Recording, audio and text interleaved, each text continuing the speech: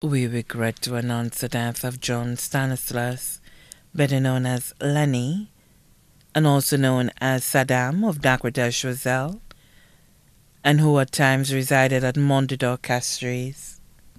He passed away on Sunday, November 27, 2022, at the OKEU Hospital. He was 73 years old. Left to mourn are his wife, Bernadette Stanislas of Dakwadash Roselle, and residing at Mondador Castries, his daughter, Valinda Stanislas Pierre, Registrar of the Civil Status Registry, Ministry of Justice, his son in law, Ernie Pierre, Environmental Health Officer of the Environmental Health Department, Ministry of Health, adopted daughter, Melinda Stanislas, also known as Princess of New York, sisters, Justina Lucien, also known as Just, and family of London, England. Janie Fossoin, also known as Shabin, and family of Belleville Chosel. Brothers, Thomas Stanislas, also known as Harcourt, and family of Richmond, and currently residing in Martinique. Alan Stanislas, formerly of Grande Riviere Dennery and currently residing in Dakwadash Roselle.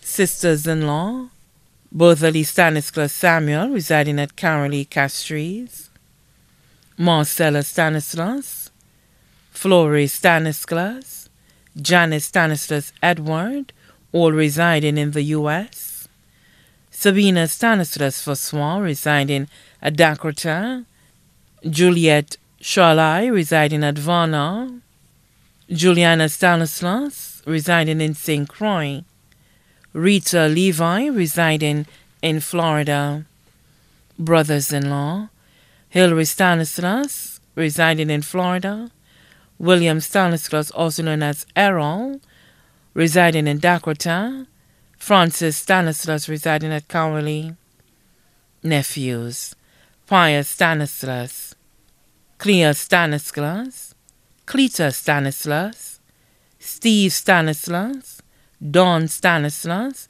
all resided in Martinique, Vernon Fossois of Coubaril Castries, Martinez Fossois residing in Groselet, Hilary Fossois of Dakota, Edward Fossois, also known as Ticlay, residing at Dakota, niece and godchild, Paula Joseph, residing in Martinique, formerly of Richmond Dennery.